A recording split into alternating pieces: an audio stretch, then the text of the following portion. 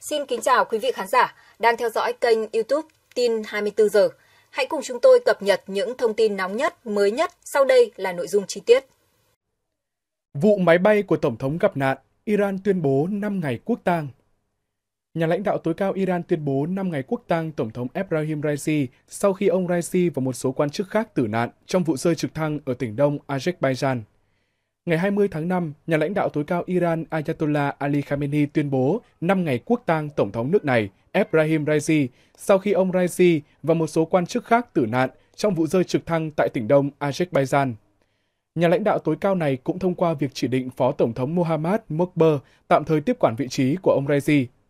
Theo Điều 131 của Hiến pháp, ông Mokber sẽ chịu trách nhiệm lãnh đạo cơ quan hành pháp. Ông Mokber sẽ cần phối hợp với những người đứng đầu cơ quan lập pháp và tư pháp để chuẩn bị cho cuộc bầu cử tổng thống tối đa trong 50 ngày. Nội các Iran cũng bổ nhiệm Thứ trưởng Bộ Ngoại giao Ali Bagheri Khani làm quyền Bộ trưởng sau khi Ngoại trưởng Hossein Amir Abdullahian tử nạn trong vụ rơi trực thăng. Cùng ngày 20 tháng 5, Bộ Ngoại giao Trung Quốc thông báo Chủ tịch nước này, ông Tập Cận Bình, đã gửi lời chia buồn về sự ra đi của Tổng thống Iran Raisi.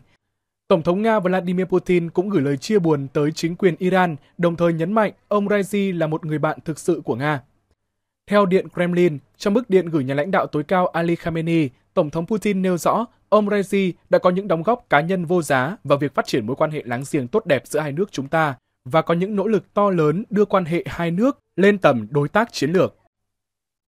Tổng thống Iran mới thừa kế gì từ ông Raisi?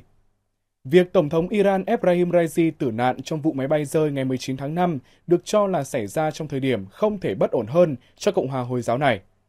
Vụ máy bay rơi kéo theo việc Tổng thống Iran được xác nhận đã tử nạn, xảy ra trong bối cảnh Tehran đang có căng thẳng cao độ với Israel cùng nhiều vấn đề khác trong nước. Bất ổn trong và ngoài nước, vào tháng 4, cả Iran và Israel đã có màn trả đũa trực tiếp qua lại, bắt nguồn từ cuộc tấn công được cho là của Israel vào tòa lãnh sự quán Iran tại Syria hồi đầu tháng này. Bên cạnh đó, các lực lượng được Iran chống lưng là Hamas và Hezbollah cũng sẵn sàng tấn công Israel. Ngoài ra, tình hình trong nước của Iran cũng không mấy sáng sủa khi nước này đang phải đối mặt với bối cảnh kinh tế khó khăn cùng sự bất mãn lan rộng của công chúng. Giám đốc phụ trách chương trình về Iran của nhóm khủng hoảng quốc tế Ali Vared nêu khả năng khi Tổng thống Iran đột ngột qua đời, Tổng thống thứ nhất sẽ tiếp quản và một cuộc bầu cử Tổng thống mới phải được tổ chức trong vòng 50 ngày. Theo hiến pháp Iran, người tạm thay thế ông Raisi sẽ là Phó Tổng thống thứ nhất Mohammad Mokber, cựu sĩ quan lực lượng vệ binh cách mạng Hồi giáo IRGC. Ông Mokber cũng từng giữ vai trò giám sát tài sản của Iran. Một quốc hội mới theo đường lối cứng rắn của Iran chỉ mới được bầu vào ngày 1 tháng 3, tỷ lệ cử tri đi bỏ phiếu trong một số cuộc bầu cử trong lần đó đã giảm xuống dưới 10%. Nhìn chung, tỷ lệ cử tri đi bỏ phiếu trên toàn quốc chỉ đạt 41%, mức thấp kỷ lục. Ông Vaez nhận định chính quyền Iran hiện nay không được trong nước ưa chuộng, đồng thời mô tả sự giãn nứt ngày càng sâu sắc giữa nhà nước và xã hội tại Iran. Về mặt kinh tế, tiền tệ của Iran đang lao dốc xuống mức thấp kỷ lục, cùng với đó là tình trạng thiếu nước ngày càng trầm trọng do biến đổi khí hậu. Theo đó, nền kinh tế Iran vẫn đang trong tình trạng hỗn loạn vì các lệnh trừng phạt từ Mỹ, thêm vào đó là khả năng quản lý yếu kém và nạn tham nhũng. Đồng nội tệ của Iran đã mất giá kỷ lục vào cuối tháng 3. Lạm phát của nước này cũng ở mức cao khủng khiếp trong nhiều năm, thường được ghi nhận vượt quá 30%. Áp lực từ chương trình hạt nhân Bên cạnh đó, theo báo Guardian, bất kỳ tổng thống mới nào cũng sẽ phải đưa ra những quyết định lớn về chương trình hạt nhân của Iran. Từ khi được bầu làm tổng thống vào năm 2021, ông Raisi là nhân vật theo đuổi đường lối cứng rắn, giám sát chiến lược mở rộng ảnh hưởng của Iran trong khu vực, đẩy mạnh chương trình hạt nhân của Tehran và đặt nước này vào tình thế có khả năng xảy ra chiến tranh với Israel. Các cuộc tấn công qua lại vừa qua giữa Iran và Israel đã đưa Iran vào một điểm nóng mới là khởi đầu cho một cuộc chiến tranh ngầm trong hàng thập kỷ qua giữa hai nước, làm dấy lên lo ngại một cuộc chiến khu vực có thể bùng nổ từ chiến sự tại giải Gaza. Ngày 9 tháng 5, cố vấn Kamal Karaji của lãnh tụ tối cao Iran Ayatollah Ali Khamenei nói Iran sẽ xem xét chuyển đổi học thuyết sang gian đe hạt nhân nếu Israel tấn công những gì Tehran xem là các cơ sở hạt nhân dân sự. Năm 2015, chính quyền của cựu Tổng thống Mỹ Barack Obama đã đàm phán một thỏa thuận hạt nhân với Iran, nhưng tới năm 2018, Tổng thống Mỹ lúc đó là ông Donald Trump đã rút khỏi thỏa thuận này. Tuy nhiên, vai trò chính xác của ông Raisi trong việc ra các quyết định quan trọng cho chiến lược hạt nhân của Iran vẫn là điều gây tranh cãi khi chương trình này nằm dưới sự kiểm soát của IRGC. Chương trình hạt nhân của Iran cùng câu hỏi liệu Iran sẽ sản xuất vũ khí hạt nhân hay chỉ tận dụng vị thế của mình như một cường quốc hạt nhân có thể nhanh chóng chế tạo vũ khí loại này trong khu vực, đang là một trong những nhân tố tác động đáng kể lên các cuộc xung đột tại Trung Đông. Kiev thuyết phục Washington cho khai hỏa vũ khí Mỹ vào lãnh thổ Nga. Đoàn nghị sĩ Ukraine đến Mỹ tuần qua để vận động Washington cho phép sử dụng vũ khí viện trợ như pháo HIMARS tập kích vào lãnh thổ Nga.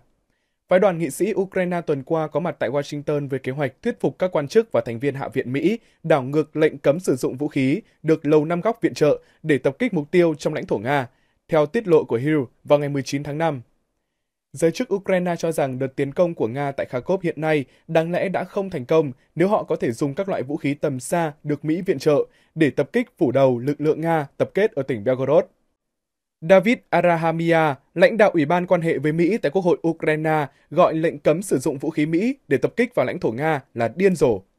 Ông nói giới lãnh đạo quân đội Ukraine đang không thể hiểu nổi lập trường này và đang thúc giục các chính trị gia thuyết phục Nhà Trắng thay đổi quan điểm. Alexandra Ustinova, thành viên Quốc hội Ukraine trong phái đoàn đến Mỹ, cảnh báo Kharkov đang đứng trước nguy cơ trở thành Mariupol thứ hai nếu Washington không thay đổi điều kiện viện trợ vũ khí. Chúng tôi không được phép bắn vào vũ khí Nga đang tập kết ở biên giới ngay lúc này. Ukraine có nguy cơ sẽ đánh mất thêm nhiều thành phố lớn và lãnh thổ. Người Nga biết rõ chúng tôi đang chịu hạn chế trong hành động, bà nói.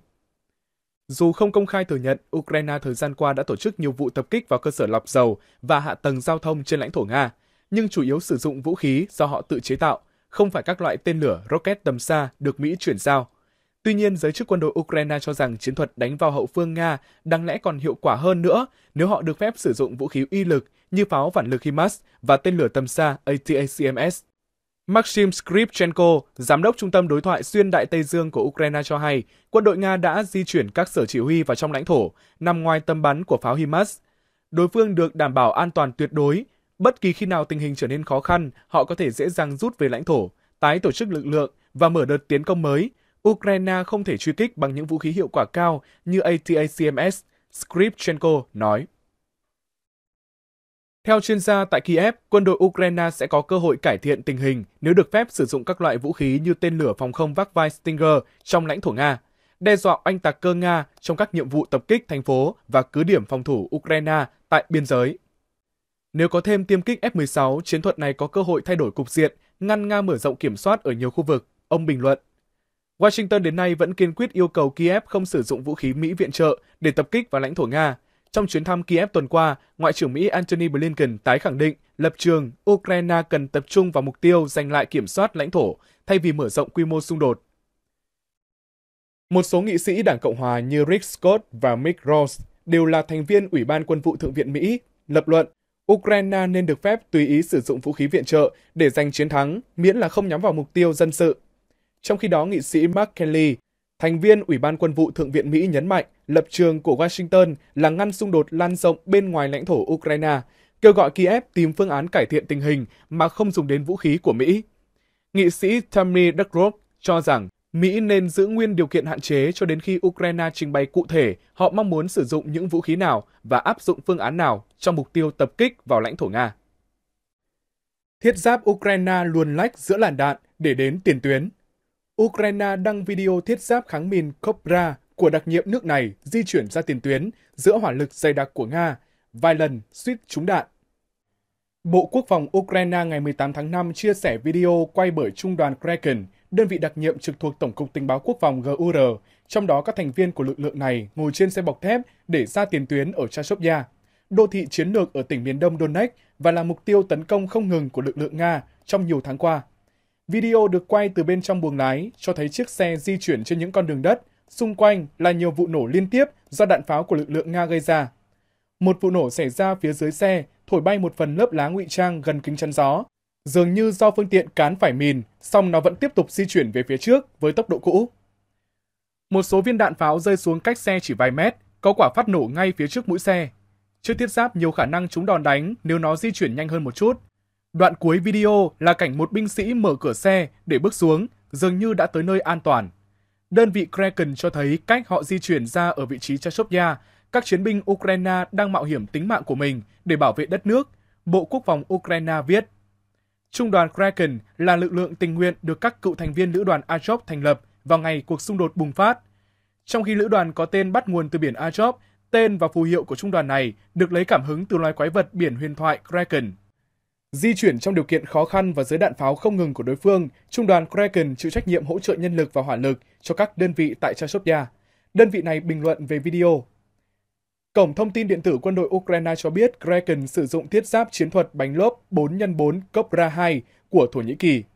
Theo nhà sản xuất, Cobra 2 có thiết kế dạng mô đun, sở hữu các đặc tính kỹ thuật và chiến thuật vượt trội, cho phép nó có thể di chuyển dễ dàng trên các địa hình gồ ghề, cùng khả năng chống mìn và chống đạn hiệu quả. Giao tranh tại Chashopya và các khu vực lân cận gia tăng những tuần gần đây, trong bối cảnh lực lượng Nga tiếp tục đẩy mạnh tiến công ở phía đông, song song với việc mở mặt trận mới ở tỉnh Đông Bắc Kharkov. Viện Nghiên cứu Chiến tranh ISW có trụ sở tại Mỹ hôm 18 tháng 5 cho biết Nga đang tăng cường nỗ lực để chiếm Chashopya nhân cơ hội quân đội Ukraine phải kéo căng lực lượng để chống đỡ các cuộc tấn công của đối phương ở tỉnh Kharkov và các khu vực khác tại miền Đông. Cụ thể, Kiev đã phải chuyển bớt thành viên của một lữ đoàn phòng thủ ở Chashopya đến khu vực Vovchan tại Kharkov, khiến phòng tuyến ở đây bị yếu đi, theo ISW. Tổ chức này nhận định lực lượng Nga sẽ đạt được đột phá ở tiền tuyến tại Chashovya và có thể là cả mặt trận phía tây Avdiivka, thành trì đã rơi vào tay Moscow từ giữa tháng 2. Một quan chức tình báo cấp cao của Ukraine hồi đầu tháng cũng thừa nhận nhiều khả năng Nga sẽ chiếm được Chashovya.